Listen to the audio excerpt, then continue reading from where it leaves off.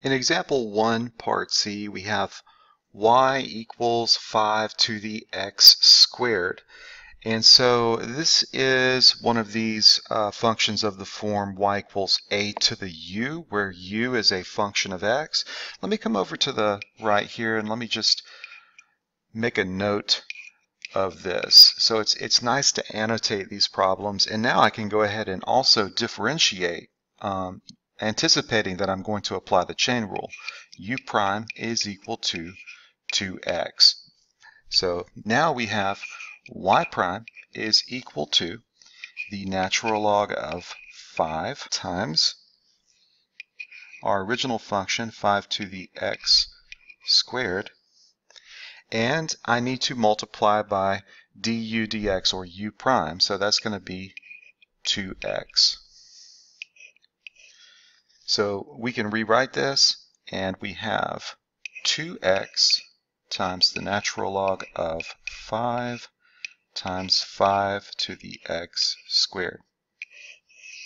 That is going to be our derivative.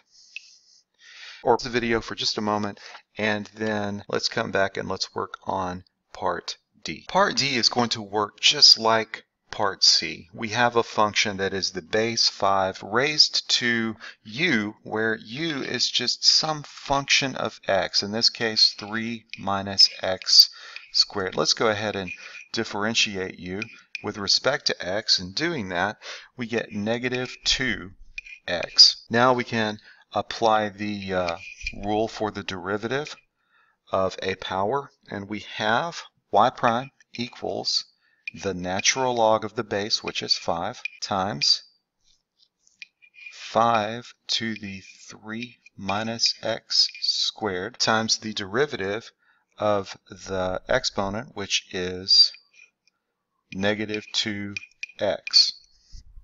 So we can rewrite this, and we have negative 2x times the natural log of 5 times 5 to the 3 minus x squared.